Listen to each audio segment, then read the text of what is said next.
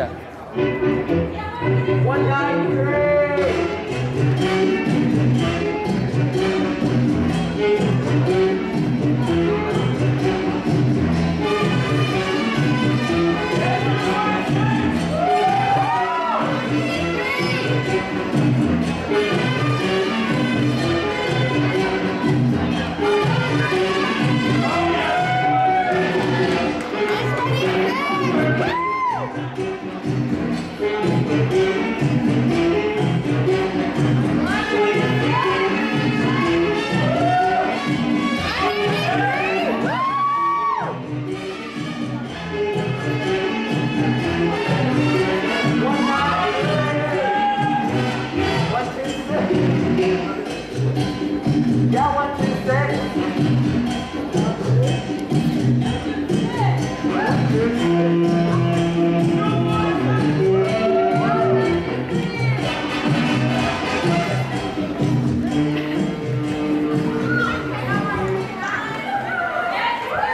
Thank you, dancers.